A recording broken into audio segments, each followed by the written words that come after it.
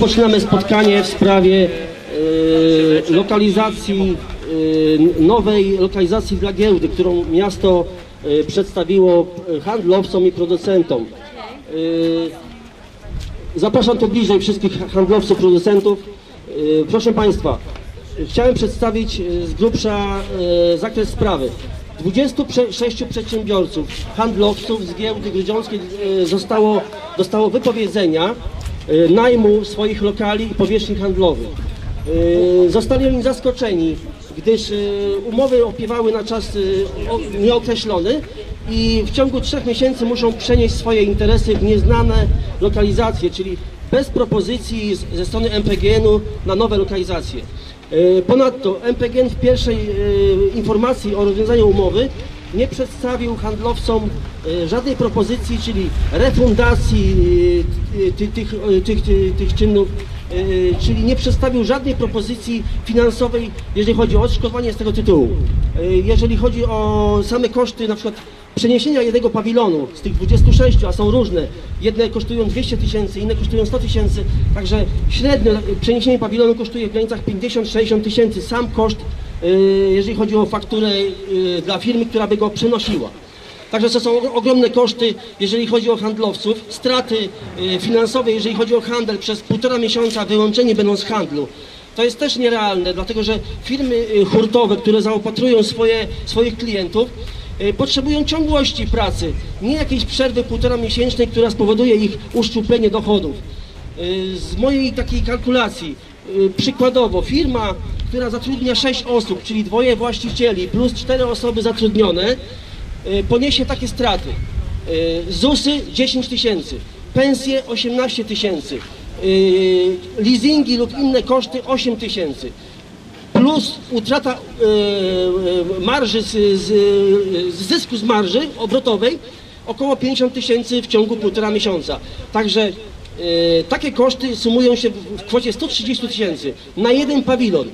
Proszę Państwa, jest to niedopuszczalne, żeby handlowcy byli obciążeni taką stratą i żeby ją pokrywali ze, ze swojej kieszeni.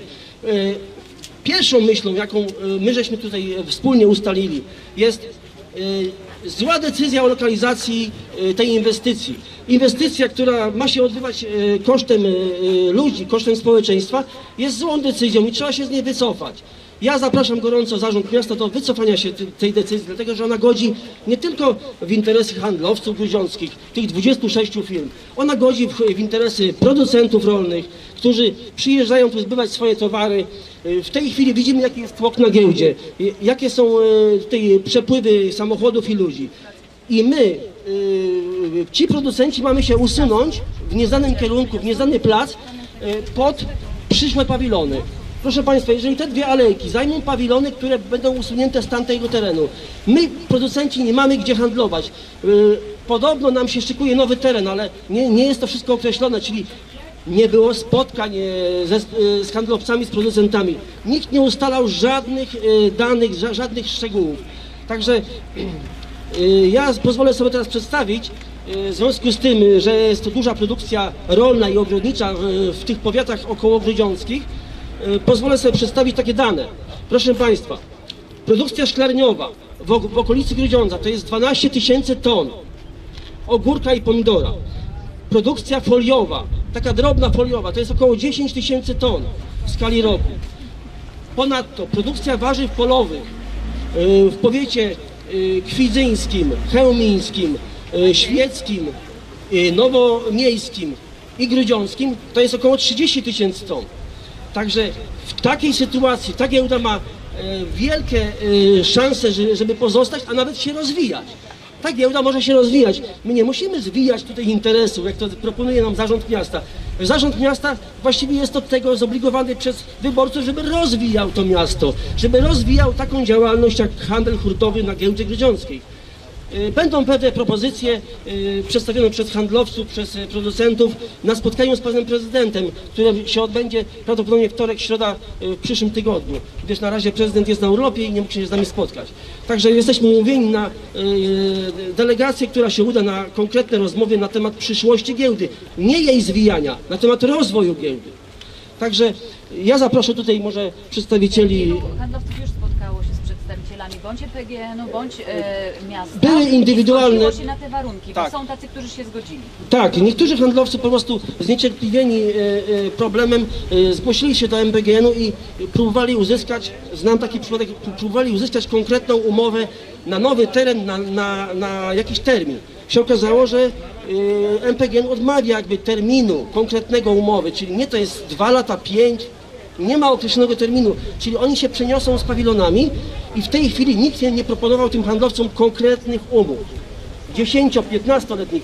A ja tu przy tej yy, okazji Ale chciałem. mówią o zwolnieniach z czynszu, mówią o to tym, na że pomogą, miesiące. To są- ale pomogą właśnie w przeniesieniu. Ale to są, ale proszę panią, takie- spółka. Dlatego pytamy, jak wy się do tego odnosicie, do tych propozycji, które przedstawia To są ogólnikowe miasto. propozycje, które jeszcze nikt nie, u, nie usiadł przy stole, nie porozmawiał z Ale miasto wczoraj mówi, że dogadało się z większością przedsiębiorców. Jest kilka osób, z którymi się nie dogadali. To teraz Tak. kto kłamie? Cze- nie, część przedsiębiorców. To jaka część? yy, yy, No mamy 26, to jaka osoby. część? Cztery osoby. Cztery osoby, proszę Państwa, y, z- jakby Poszły za, zadeklarowało chęć przenosin. Cztery osoby, ale większość osób, czyli 26 osób mamy y, poszkodowanych, ale nie rozmawiamy tylko o tych y, pawilonach handlowych. My rozmawiamy o całości giełdy, bo jeżeli te pawilony zostaną przeniesione na tą lokalizację, to brakuje miejsca dla rolników, dla producentów, dla pośredników. Proszę Państwa, y, musimy to całościowo ro- y, rozgrywać, nie jednostkowo.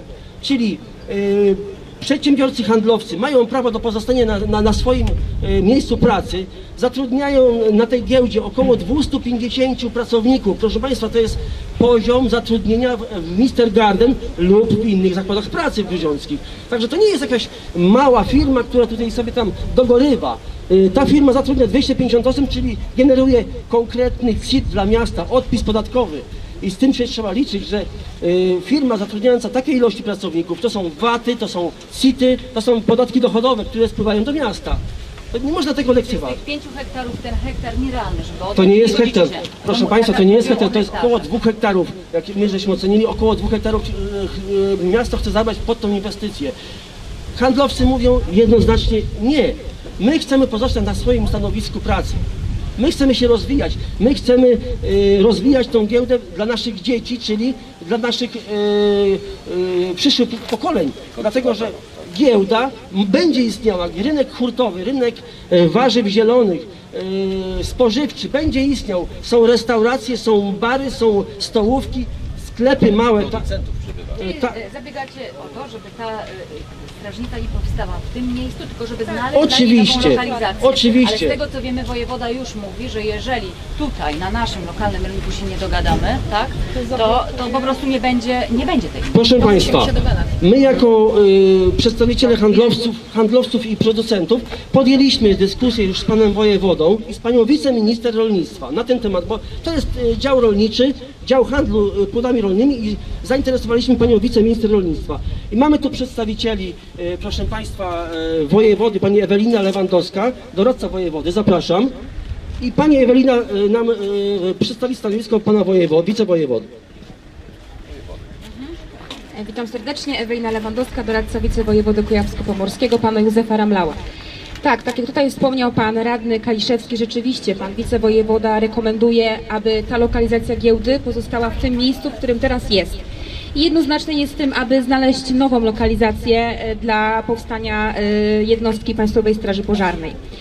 E, Ja tutaj przyjeżdżając na miejsce i też rozmawiając z panem radnym, z handlowcami tuż przed tym spotkaniem, dowiedziałam się, że ta giełda ma, jest tutaj prowadzona od 30 lat, że prawie 200 osób tutaj pracuje, z czego utrzymuje swoje rodziny. I myślę, że każda zmiana lokalizacji niesie za, niesie ze sobą zamieszanie, też per, perturbacje.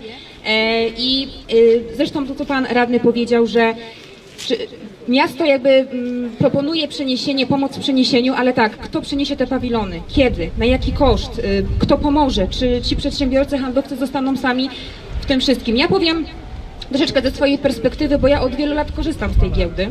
Jestem z powiatu aleksandrowskiego i rok rocznie przyjeżdżam tutaj ze swoimi czereśniami. Handluję z samochodów, z busów tutaj.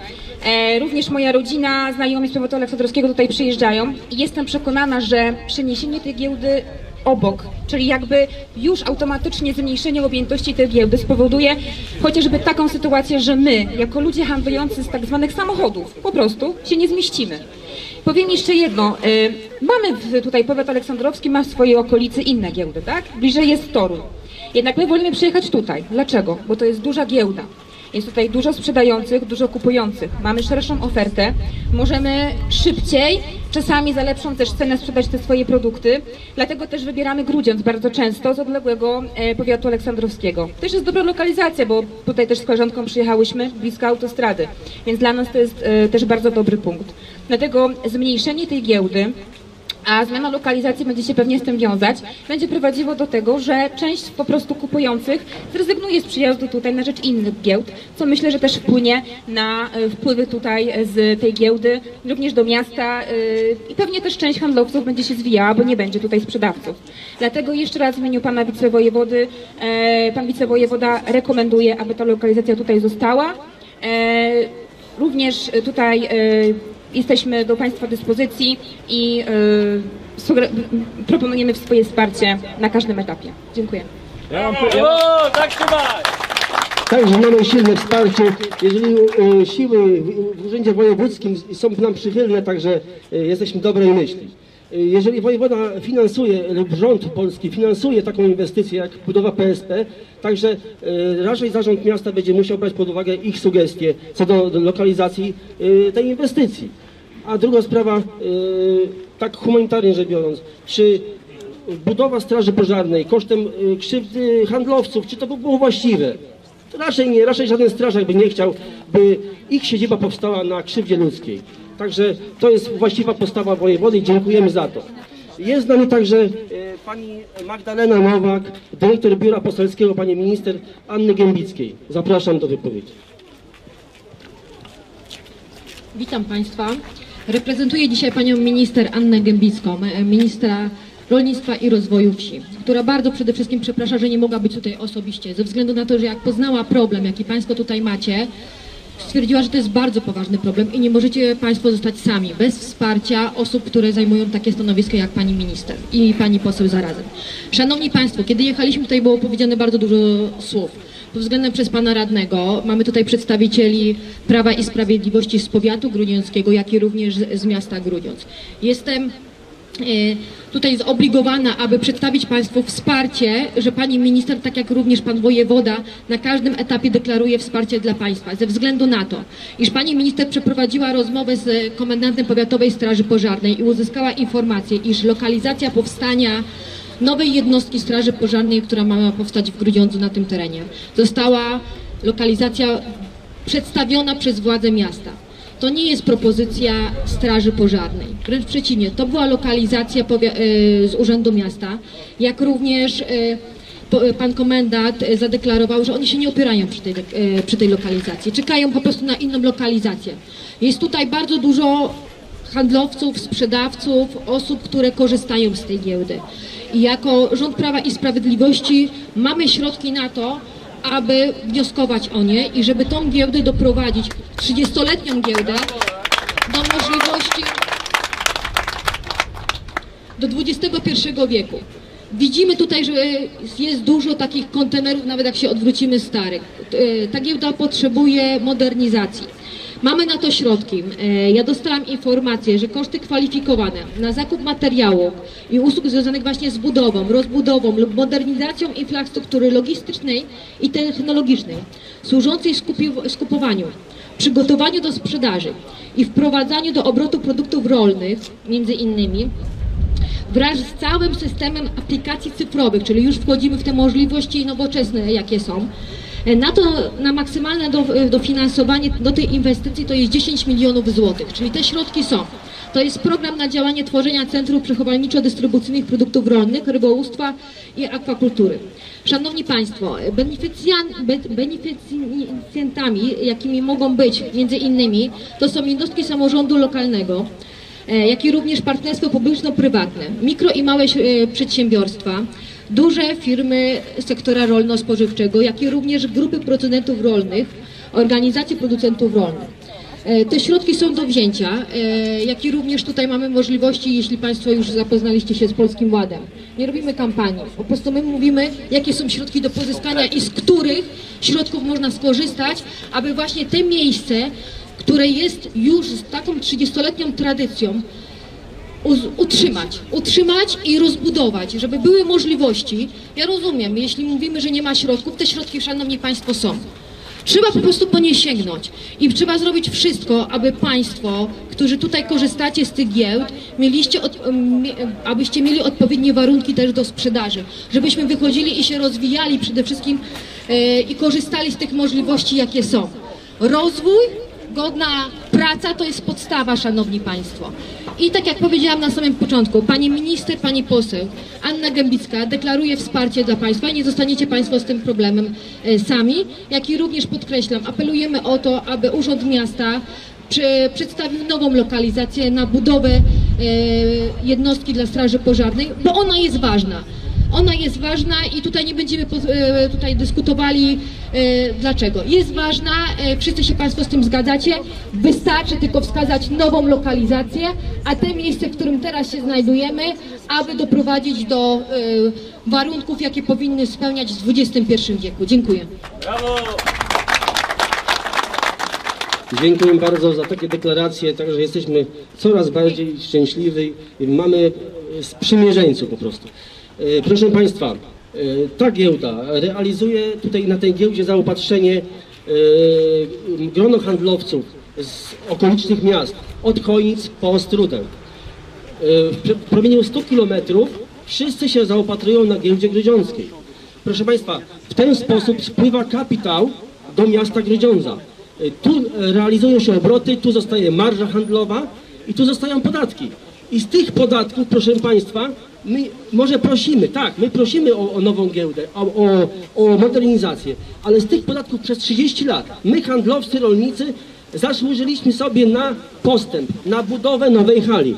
I rząd to rozumie. Przedstawiciele rządu rozumieją to, ja to wyłożyłem dokładnie z panem wojewodą w rozmowie. Przecież te podatki, które spłynęły przez 30 lat, one po prostu nieszczęściowo wrócą do Grudziądza w postaci dotacji budowy. To jest jakby logiczne, to nie trzeba tu dużo kombinować, główkować przy tym. Jeżeli my się rozwiniemy, giełda się rozwinie, czyli nie utraci swojej płynności, swojej, swojego zasięgu, znowu napędzimy koniunkturę. Podatki będą w, zostawać w Grudziądzu. Grudziądz będzie się rozwijał.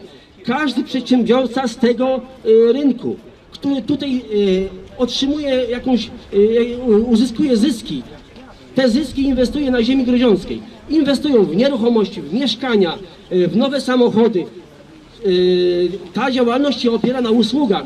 Y, Korzystają z tego mechanicy. Tu jest tabor samochodowy, który wymaga konserwacji y, napraw. Mechanicy w dużej mierze obsługują naszą giełdę, bo handlowcy nie mają czasu na samą naprawę samochodu. Stawiają auta do mechaników i żądają szybkiej naprawy, bo interes się kręci, trzeba jeździć, trzeba towary przywozić, wywozić. Proszę Państwa, dalsza część. Mamy nową lokalizację, jakby na tej samej ulicy. Ulica Łyskowskiego jest długa i na tej ulicy są wolne działki, które może pozyskać miasto pod budowę PSP, jeżeli ta lokalizacja okazała się e, taka e, strategiczna, bo strażacy ją określili jako najlepszą lokalizację w mieście dla ich e, budowy. Tak, ale ta sama ulica ma wolne działki, które mogą też służyć tej budowie. Także zapraszamy y, y, y, panów strażaków i władze miasta do rozważenia tej no- nowej lokalizacji, która nie będzie odbiegała, jeżeli chodzi o odległość i, strategiczną, strategiczne znaczenie, bo różni się 500 metrów. Za stacją Shell mamy dużą działkę na ładnym skrzyżowaniu, która może być użyta pod budowę nowej siedziby Straży Pożarnej. Proszę Państwa, my jesteśmy nastawieni na dialog. Dialog, ale na temat yy, modernizacji giełdy. My z miastem będziemy rozmawiać z panem prezydentem we wtorek, w środę i my chcemy przedstawić yy, możliwość rozwoju giełdy, ale nie jej ograniczenia, jej okrojenia. To był zły pomysł. Ja wierzę w to głęboko, że służby pana prezydenta, może nie sam prezydent, ale służby pana prezydenta nie były zorientowane w działalności giełdy, nie miały tej wiedzy na temat zakresu giełdy i jej potrzeb i, i, i, możliwości. I wprowadziły troszeczkę pana prezydenta e, Gramowskiego w błąd. Tak jakby taki, taki sabotaż może wewnątrz, e, jak to się mówi, zarządzających miastem, że, że nie byli zorientowani po prostu i wprowadzili pana prezydenta w błąd. I ta decyzja była e, jakby nie z, z winy pana prezydenta. Wierzymy w to, że pan prezydent naprawi ten błąd urzędników, swoich współpracowników i odda nam to pole do, do, do, do pracy, a Straż Pożarna powstanie na nowej, dobrej, dobrej lo- lokalizacji. Także wierzymy w to głęboko. Y, Jest tu też z nami pani radna PiS, y, pani Ma- Marzena Ma- Makowska, zabierze kilka słów. Dziękuję bardzo. Przedsiębiorca mi- Rady Miasta. Panie Prezydencie, apeluję. Proszę zdobyć środki na modernizację tej giełdy. Tak jak sugeruje i stwierdza Ministerstwo Rolnictwa, proszę pozyskać również środki na modernizację targowiska przy ulicy Kosynierów Gdyńskich. Ulica Sienkiewicza jest odrestaurowana, jest przepięknym zakątkiem tego miasta i obok jest targowisko, które straszy. Apeluję po raz kolejny.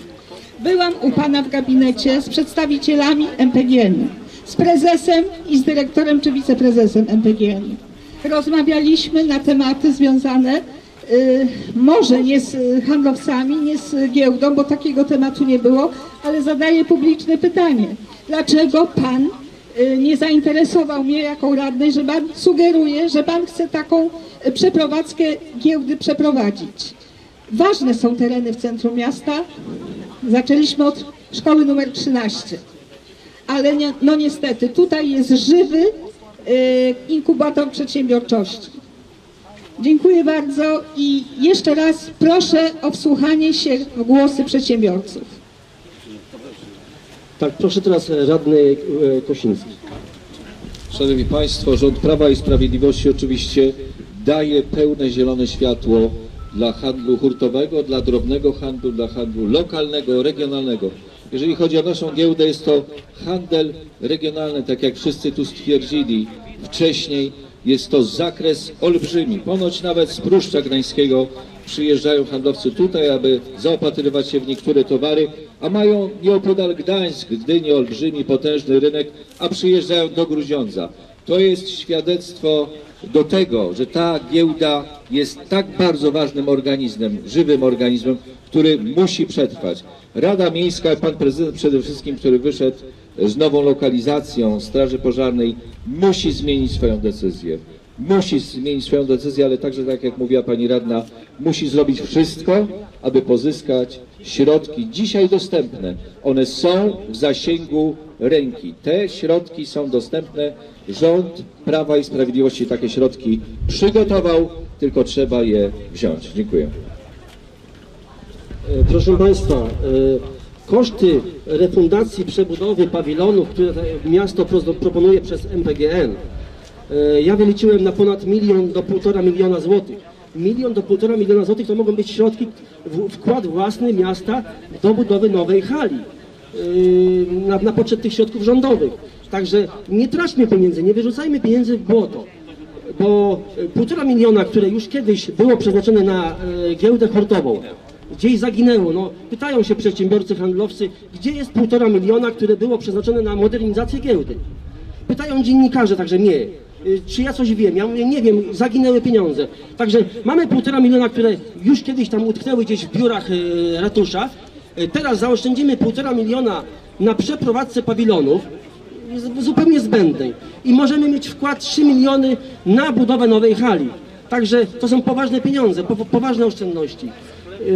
Proszę Państwa, jeżeli chodzi o zmianę lokalizacji PSP, jest konieczna ze względu na skutki społeczne tej decyzji. Przecież ona jest niewłaściwa, jeżeli yy, ci przedsiębiorcy i rolnicy mają być poszkodowani, to na pewno prezydent yy, yy, nie utrzyma jej w mocy i się wycofa z tego złego pomysłu. Raczej wątpię, żeby utrzymywał tą lokalizację. Teraz tak, yy, Bożeny Nadwornej z Radzenia, która też yy, sprawą się interesuje i, i dba o interesy swoich yy, mieszkańców swojej gminy. Także dziękuję za przybycie Pani Przewodniczącej Rady Gminy Roguźno, Pani Hanny Chyzik. Także jest zainteresowana tematem i będzie broniła interesów rolników i mieszkańców gminy Roguźno. Dziękuję bardzo. Może zabierze kilka słów. E, Proszę Państwa, jestem radną gminy Roguźno. Jak wiecie, Roguźno jest gminą przede wszystkim rolniczą, tak? E, No ja rozumiem, że e, budowa nowej siedziby Straży Pożarnej to jest naprawdę bardzo ważna inwestycja ale no niestety trzeba też zwrócić uwagę tutaj na rolę i tutaj e, los przedsiębiorców, tak? Z giełdy tej korzysta bardzo wielu rolników, między innymi też z gminy Rogużno. Oni mogą tutaj sprzedawać swoje plony, tak? No niestety zmniejszenie powierzchni giełdy hurtowej może spowodować to, że no, zabraknie dla nich miejsca na handlowanie, tak? E, Każdy przedsiębiorca chce mieć taką e, stabilność e, w funkcjonowaniu. No i nie można się dziwić, że rolnicy też chcą mieć zagwarantowane, taką, chcą też mieć pewność, że będą mieli to miejsce, gdzie będą mogli bez problemów handlować tym swoim towarem. Dziękuję. najbardziej potrzebujących, czyli o rolników, którzy tak naprawdę karmią nas wszystkich. Jeżeli rolnik będzie miał udogodnienie pod względem giełdy, gdzie może swój plon sprzedać, to cała gospodarka będzie się kręcić, ale jeżeli my będziemy odbierać im tą szansę, to co pozostanie? My musimy dbać o ludzi, o ich rodziny, bo oni z tego też żyją. My żyjemy z tego. Straż jest bardzo potrzebna.